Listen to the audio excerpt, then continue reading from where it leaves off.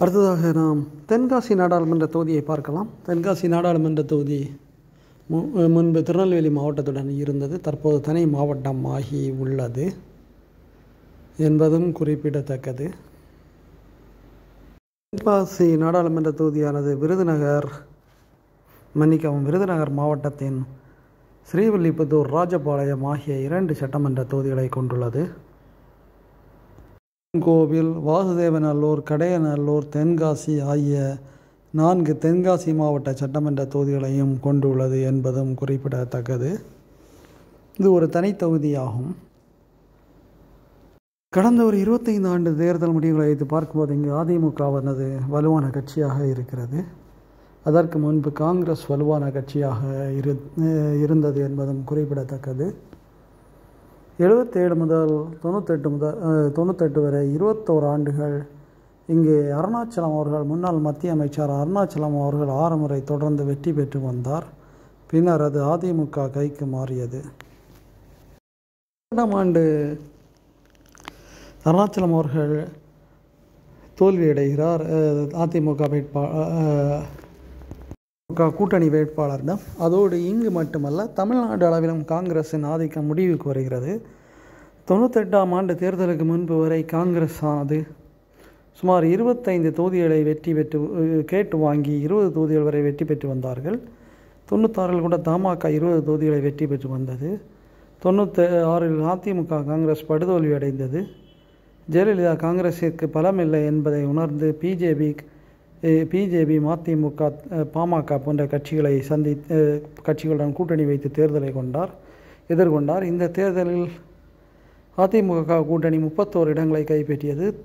காங்கிரஸின் இன்னொரு பிரதிநிதியாக விளங்கிய பாமக மூன்று சீட்டுகளை மட்டுமே கைப்பற்றியது. அதோடு தமிழகத்தில் காங்கிரஸின் ஆதிக்கம் முறியடிக்கப்பட்டது. அதற்கு பிறகு தமிழ்நாட்டில் காங்கிரஸ் கூட்டணி வைத்த போது பனிரெண்டுக்கு மேல் தொகுதிகள் கிடைத்தவில்லை கிடைக்கவில்லை. தற்போது பத்து தொகுதிகளே அதிகபட்சமாக அவர்களுக்கு கிடைத்து வருகிறது என்பதும் குறிப்பிடத்தக்கது. தென்காசி மாவட்டத்தில் தென்காசி கடையநல்லூர் வாசுதேவநல்லூர் சங்கரன் கோவில் ஆகிய சட்டமன்ற தொகுதிகள் உள்ளன.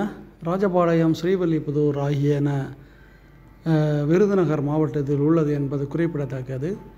இதில் ராஜபாளையத்தை தலைநகரமாக கொண்டு ஒரு மாவட்டம் அமைக்க வேண்டும் என்ற கோரிக்கையும் இருந்து வருகிறது. ராஜபாளையம் மில்கள் நிறைந்தது என்பது குறிப்பிடத்தக்கது.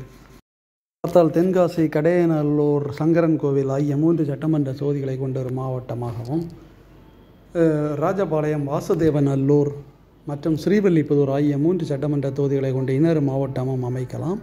அப்படி அமைத்தால் தென்காசி நாடாளுமன்ற தொகுதியானது இரண்டு மாவட்டங்களை கொண்டதாக இருக்கும். தமிழ்நாட்டில் உள்ள முழு மாவட்டங்களை அப்படி பிரித்தால் நன்றாக இருக்கும். படிப்படியாக எழுபத்தெட்டு மாவட்டங்கள் கொண்டதாக இர ஒரு நாடாளுமன்றத்திற்கு இரண்டு சட்டமன்ற தொகுதிகள் என்று பிரிக்கலாம். இங்கே இன்னொரு பிர இன்னொரு பிரச்சனை என்னவென்றால் சங்கரன் கோவிலை கொண்டும் கோவில்பட்டியை கொண்டும் ஒரு மாவட்ட கோரிக்கைகள் உள்ளன.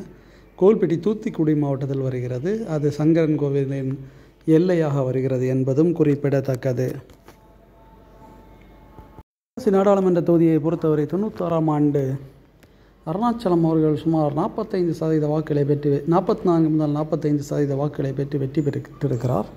ஆனால் தொண்ணூத்தாறாம் ஆண்டு ஜெயலலிதா எதிர்ப்பு வலை வீசியதால் தமிழகம் முழுவதுமே ஐம்பது சதவீதத்திற்கு மேல் வாக்குகளை திமுக கூட்டணி பெற்றது. ஆனால் இங்கே திமுக தமாக வேட்பாளர் சுமார் நாற்பத்தி நான்கு சதவீத வாக்குகளை பெற்றிருக்கிறார்.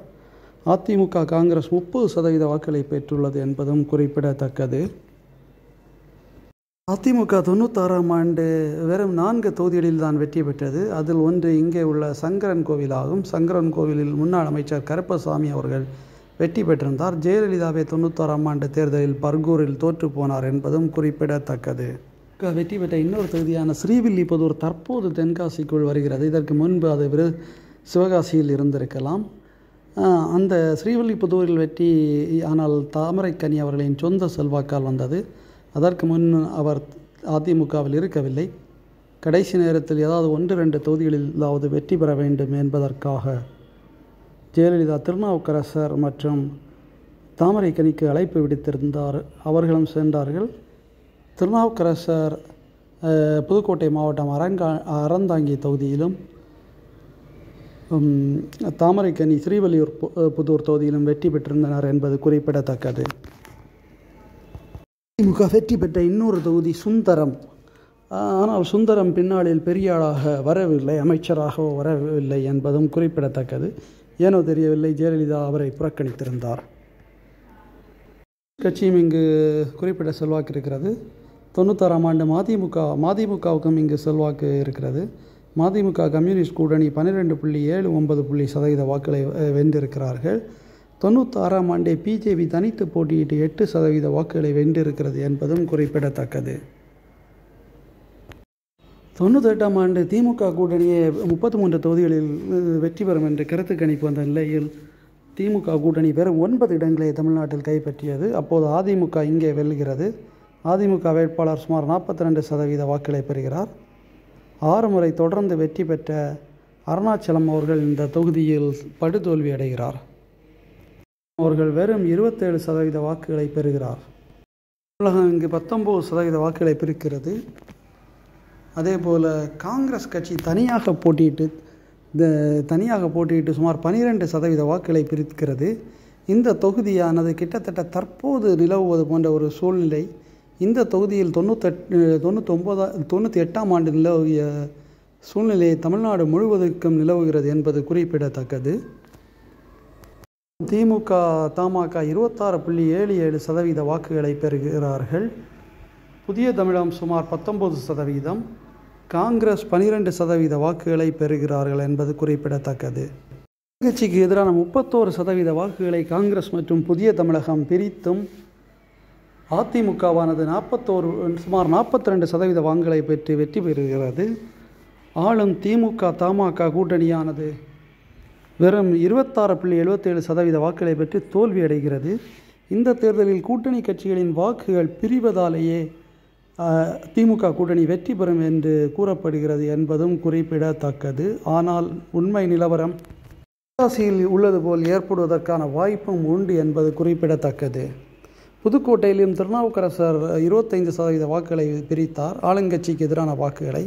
அப்படி இருந்தும் அங்கே அதிமுக அந்த தேர்தலில் வெற்றி பெற்றது. இதிலிருந்து ஆளுங்கட்சிக்கு எதிரான வாக்குகள் பிரிவது மட்டுமே ஆளுங்கட்சியை வெற்றி வைக்க வெற்றி பெற வைக்க முடியாது என்பதற்கு தென்காசி புதுக்கோட்டை போன்ற தொகுதிகள் காரணமாகும். நல்ல முன்னுதாரணமாகும். தேர்தல் ஆளுங்கட்சிக்கு எதிரான முப்பத்தோரு சதவீத வாக்குகள் பிரிந்தும் அதிமுக இங்கே வெற்றி பெற்றிருக்கிறது. இதன் மூலம் ஆளுங்கட்சிக்கு எதிரான வாக்குகள் பிரிவடைவதால் மட்டுமே திமுக முப்பத்தொன்பது ஜீரோ என்ற என்று க்ளீன் ஸ்வீப் செய்யும் என்பது ஏற்றுக்கொள்ள முடியாதது ஒன்று. கொங்கு மட்டத்தில் பெரும்பாலான தொகுதிகளின் முடிவு இந்த மா இந்த முறை இதே மாதிரி இருக்கலாம். கிட்டத்தட்ட ஈரோடு போன்ற தொகுதிகளின் முடிவுகள் இதே மாதிரியே இருந்ததை நாம் ஏற்கனவே ஈரோடு திருப்பூரின் முடிவுகள் இதே மாதிரி இருந்ததை நாம் பார்த்திருக்கிறோம். அதிமுக இங்கே அதிமுக நாற்பத்தோரு சதவீத வாக்களை பெற்றிருக்கிறது. ஆனால் ஈரோடு திருப்பூரில் முப்பத்தி ரெண்டு சதவீத வாக்குகளை பெற்ற அதிமுக. இந்த முறை பிஜேபி மற்றும் நாம் தமிழர் கூட்டணி முப்பது சதவீத வாக்குகளை பிரித்தாலும் கூட சில தொகுதிகளில் எல்லா தொகுதி தொகுதிகளும் இல்லை. அதிமுக வலுவாக உள்ள கொங்கு மண்டலம் அதாவது மேற்கு மண்டலம் போன்ற தொகுதிகளில் அதிமுகவுக்கு வெற்றி வாய்ப்பு உள்ளது என்பதையே தொண்ணூத்தெட்டாம் ஆண்டு தேர்தல் முடிவுகள் காட்டுகின்றன. இதில் காங்கிரஸ் புதிய தமிழகம் திமுக அதிமுக ஆகியவை செல்வாக்குடன் திகழ்கின்றன. முப்பதாம் ஆண்டு தேர்தலிலும் பா- பார்த்தால் இங்கே அதிமுகவே வெற்றி பெறுகிறது. அதிமுக கடந்த தேர்தலில் வெற்றி பெற்றதை விட முப்பத்தைந்து சத சுமார் ஏழு சதவீத வாக்குகள் குறைவாக பெற்று முப்பத்தைந்து சதவீத வாக்குகளை பெற்று வெற்றி பெறுகிறார்கள். புள்ளி எட்டு எட்டு சதவீத வாக்குகளை பெற்று அதிமுக வெற்றி பெறுகிறது. திமுக முப்பத்தைந்து புள்ளி எழுபத்தி நான்கு சதவீத வாக்குகளை பெற்று தோல்வியடைகிறது. திமுக கூட்டணியில் போட்டியிட்ட பிஜேபி வேட்பாளர் ஆறுமுகம் தோல்வியடைகிறார். வாக்கு வித்தியாசமானது ஜீரோ புள்ளி ஒன்று நான்கு சதவீதமே ஆகும். சுமார் தொள்ளாயிரம் வாக்குகள் வித்தியாசத்தில் அதிமுக வேட்பாளர் வெற்றி பெறுகிறார். தொண்ணூத்தொன்பதாம் ஆண்டில் வாஜ்பாயிலை வீசியது. அந்த ஆனால் இந்த தேர்தலில் கடந்த தேர்தலை விட கிருஷ்ணசாமி அவர்கள் அதிக வாக்குகளை பெறுகிறார். கடந்த தேர்தலில் புத் பத்தொம்போது சதவீத வாக்குகளை பெற்ற கிருஷ்ணசாமி இருபத்தேழு சதவீத வாக்குகளை பெறுகிறார். தா இதற்கு காரணம் திமுக கிருஷ்ணசாமி தமாகவுடன் கூட்டணி வைத்து கொண்டது ஆகும். இருபத்தேழு சதவீத வாக்குகள் பிரிந்தும் அதிமுக வெற்றி பெறுகிறது. நான்காம் ஆண்டு ஜெயலலிதா எதிர்ப்பு அலை வீசியதாலும் திமுக மற்றும் நான்காம் ஆண்டு கம்யூனிஸ்ட் கட்சி வேட்பாளர் நாற்பத்தெட்டு புள்ளி எட்டு சதவீத வாக்குகளை பெற்று வெற்றி பெறுகிறார். அதற்கு காரணம் ஜெயலலிதா எதிர்ப்பு அலை வீசியது மற்றும் திமுகவின் வலுவான கூட்டணி. ஆனால் இங்கே தனித்து போட்டியிட்ட கிருஷ்ணசாமி அவர்கள் பதினான்கு சதவீத வாக்குகளை பிரிக்கிறார். ஆளும் திமுக இதுவரை திமுகவுக்கு எதிராக பிரித்த கிருஷ்ணசாமி இந்த முறை அதிமுகவுக்கு எதிராக பதினான்கு சதவீத வாக்குகளை பிரித்தாலும் இந்த முறை திமுகவே வெற்றி பெறுகிறது. ஒன்பதாம் ஆண்டு மீண்டும் கம்யூனிஸ்ட் கட்சி வெற்றி பெறுகிறது. ஆனால் இந்த முறை அவர்கள் சுமார் முப்பத்தி ஏழு எட்டு புள்ளி எட்டு சதவீத வாக்குகளை பெற்று அதிமுக கூட்டணியில் வெற்றி பெறுகிறார்கள். காங்கிரஸ் விடுதலை சிறுத்தைகள் கூட்டணியில் காங்கிரஸ் வேட்பாளர் முப்பத்தி மூணு புள்ளி ஒன்று நான்கு சதவீத வாக்களை பெற்று தோல்வியடைகிறார் இந்த தேர்தலில் திமுக இலவசங்களை கலர் டிவி ரெண்டு ரூபாய் அரிசி போன்ற இலவசங்களை வழங்கியது. ஆனால் இந்த தேர்தலில் ஈழத்தமிழர்களுக்கு ஈழ ஈழப் பிரச்சனை பற்றிய ஈழப் பிரச்சனையால் காங்கிரஸ் மற்றும் திமுகவுக்கு எதிரான நிலைப்பாடு நிலவியது. இருந்தாலும் திமுக இருபத்தெட்டு தொகுதிகளை வென்றது. அதில் காங்கிரஸ் போட்டியிட்ட பதினாறு தொகுதிகளில் ஏழு தொகுதிகளை இழந்தது. அந்த தொகுதிகளில் இதுவும் ஒன்று. அதில் புதிய தமிழகம் பதினைந்து சதவீத வாக்குகளையும் தேமுதிக பத்து சதவீத வாக்குகளையும் பிரிக்கிறது. ஆளுங்கட்சிக்கு எதிரான அதாவது திமுகவுக்கு எதிரான வாக்குகளில் இருபத்தைந்து சதவீத வாக்குகளை தேமுதிக மற்றும் புதிய தமிழகம் பிரித்தாலும் இந்த தேர்தலில் அதிமுக கூட்டணியில் இருந்த இந்திய கம்யூனிஸ்ட் கட்சியானது வெற்றி பெறுகிறது என்பதும் குறிப்பிடத்தக்கது. ஆளுங்கட்சிக்கு எதிரான வாக்குகள் பிரிந்தாலும் தென்காசியை பொறுத்தவரை எதிர்க்கட்சிகள் வெற்றி பெற்று வருகின்றன என்பதும் குறிப்பிடத்தக்கது. பதினான்காம் ஆண்டு இங்கு அதிமுகவானது ஆளும் கட்சியான அதிமுக வெற்றி பெறுகிறது. திட்டங்களின் மூலம் சுமார் நாற்பத்தி ரெண்டு சதவீத வாக்குகளை பற்றி பெற்று அதிமுகவானது இங்கு வெற்றி பெறுகிறது என்பது குறிப்பிடத்தக்கது. தமிழகம் இரண்டாவது இடத்தை இரு தனித்து போட்டியிட்டு இருபத்தாறு புள்ளி ஒன்பது சதவீத இடங்களை பிடிக்கிறது. புதிய தமிழகம் திமுக கூட்டணியின் சார்பில் போட்டியிட்டு இருபத்தாறு புள்ளி ஒன்று ஒன்பது இடங்களை பிடிக்கிறது. அதிமுக பிஜேபி தேமுதிக கூட்டணியில் போட்டியிட்டு சுமார் பத்தொன்பது சதவீத இடங்களை பிடிக்கிறது. காங்கிரஸ் தனித்து போட்டியிட்டு சுமார் ஐந்து சதவீத இடங்களை பிடிக்கிறது. ரெண்டு சதவீத இடங்களை பிடிக்கிறது. ஒன்பதாம் ஆண்டில் மோடி எதிர்ப்பு எடப்பாடி எதிர்ப்பு அலை வீசியதால் ஐந்து புள்ளி ஒன்று ஒன்று சதவீத வாக்குகளை பெற்று திமுக கூட்டணியானது வெற்றி பெறுகிறது. சுமார் முப்பத்தி நான்கு சதவீத வாக்குகளை பெறுகிறது. அதிமுக கூட்டணி சார்பாக போட்டியிட்ட டாக்டர் கிருஷ்ணசாமி அவர்கள் சுமார் முப்பத்தி நான்கு சதவீத வாக்குகளை பெறுகிறார். அணியின் அம்மா மக்கள் முன்னேற்ற கழகமும் சுமார் எட்டு புள்ளி எட்டு சதவீத வாக்குகளை பெறுகிறது. தமிழர் கட்சியானது ஐந்து புள்ளி அறுபத்தி மூன்று சதவீத வாக்குகளையும் கமல்ஹாசன் அவர்களின் மக்கள் நீதி மையமானது ரெண்டு புள்ளி ரெண்டு எட்டு சதவீத வாக்குகளையும் பெறுகிறது என்பதும் குறிப்பிடத்தக்கது. இந்த தொகுதியானது பார்த்தால் அதிமுகவுக்கு சாதகமான தொகுதி. கடந்த ஒரு தேர்தலை தவிர்த்து பார்த்தால் ஆனால் தினகரன் பிரிந்து நிற்பது அதிமுகவுக்கு பாதிப்பை ஏற்படுத்துவதாக உள்ளது என்பதும் குறிப்பிடத்தக்கது. இந்த தொகுதியில் பதினான்கு முதல் ப பத்தொம்பது சதவீத வாக்காளர் வரை அவருக்கு அன்று வைத்திருக்கிறார்.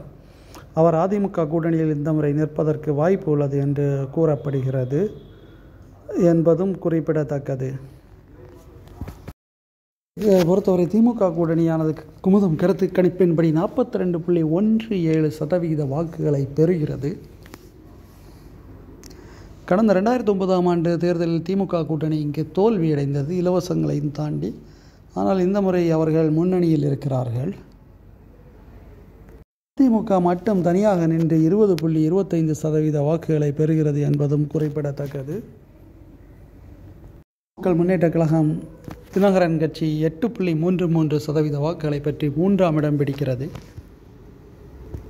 தமிழர் கட்சியானது ஏழு புள்ளி ஒன்று ஏழு சதவீத வாக்குகளை பெற்று நான்காம் இடம் பிடிக்கிறது. திமுகவானது ஆறு புள்ளி ஆறு ஏழு சதவீத வாக்குகளை பெற்று ஐந்தாம் இடம் பிடிக்கிறது. ஆனது ஆறு புள்ளி நான்கு ரெண்டு சதவீத வாக்குகளை பெற்று ஆறாம் இடம் பிடிக்கிறது. பிஜேபிக்காரர்கள் இங்கு பணி செய்து வருகிறார்கள் என்று கூறப்பட்ட நிலையில் பிஜேபியானது குறைந்த வாக்கு சத பத்து சதவீதத்திற்கும் குறைந்த வாக்கு சதவீதத்தை பெற்றதோடு மட்டுமல்லாமல் ஆறாம் இடத்திற்கும் தள்ளப்பட்டிருக்கிறது என்பது குறிப்பிடத்தக்கது.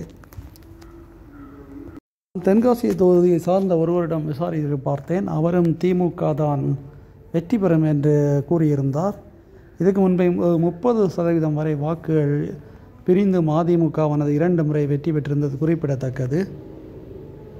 தொகுதியை பொறுத்தவரை பாட்டாளி மக்கள் கட்சி ரெண்டு புள்ளி ஒன்று ஏழு சதவீத வாக்குகளை பெற்றுள்ளது. திமுகவானது ஆறு புள்ளி ஆறு ஏழு சதவீத வாக்குகளை பெற்றுள்ளது. அதிமுகவானது தேமுதிகவுடன் கூட்டணியை இறுதி செய்யும் நிலையில் உள்ளது. பிஜேபி மற்றும் பாமக இடையே கூட்டணி அமைவது அமைவது கடினம் என்று கூறப்படுகிறது. காரணம் பிஜேபியுடன் சேர்ந்தால் வெற்றி வாய்ப்பு குறைவு மற்றும் யார் பெரிய கட்சி என்பது போன்ற பிரச்சனைகள் உள்ளதால் பாமக கூட அதிமுக பக்கம் வருவதற்கு வாய்ப்பு உள்ளது என்று கூறப்படுகிறது. அப்படி பாமக தேமுதிக அதிமுக ப பக்கம் வந்தாலும் அவர்களால் முப்பது சதவீத வாக்குகளை பெற முடியும். திமுக கூட்டணியானது நாற்பத்தி ரெண்டு சதவீத சதவீத வாக்குகளை பெற்று வெற்றி பெறுகிறது என்பது இந்த தொகுதியின் நிலவரம். இதே தான் இந்த தொகுதியில் நான் விசாரித்த போதும் கூறினார்கள். அதிமு திமுக கூட்டணி வெற்றி பெறும் என்று கூறினார்கள். தென்காசியில் திமுக கூட்டணியின் வெற்றி கிட்டத்தட்ட உறுதியாகி உள்ளது. தமிழகம் இங்கு ஒன்று புள்ளி நாற்பது சதவீத வாக்குகளை பெற்றிருக்கிறது. ஐந்து சதவீத வாக்குகளை பெற்றுள்ளது. புதிய தமிழகத்தின் செல்வாக்கு இங்கே அவ்வளவு குறைந்து விட்டதா என்பதை தேர்தல் முடிவுகள் வெளிக்காட்டும். வெளிக்காட்டுவதற்கான காய்ப்பு குற வாய்ப்பும் குறைவுதான்.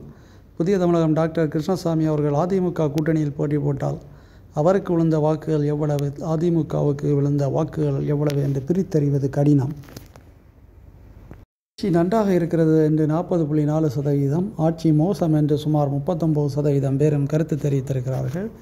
திமுக ஆட்சி நன்றாக இருக்கிறது என்று அதிகம் பேர் கருத்து தெரிவித்திருப்பதால் திமுகவை இங்கு வெற்றி பெறுவதற்கான வாய்ப்பு அதிகம். சுமார் என்று சுமார் இருபதரை சதவீதம் பேர் தெரிவித்திருக்கிறார்கள். அவர்களிலிருந்து இரண்டு சதவீத வாக்குகளை பெற்று நாற்பத்தி ரெண்டு சதவீத வாக்குகளை பெறுகிறது திமுக. திமுக. குமுதன் கருத்து கணிவின்படியும் தொகுதி நிலவர நிலவரத்தின்படியும் திமுக முந்துகிறது.